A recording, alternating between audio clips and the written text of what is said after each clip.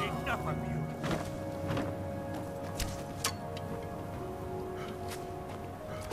I'll cut you open.